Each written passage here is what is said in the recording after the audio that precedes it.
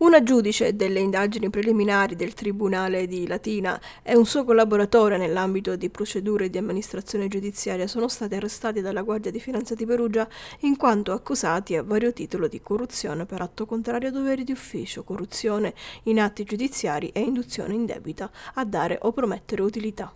Un'altra collaboratrice è stata invece messa agli arresti domiciliari.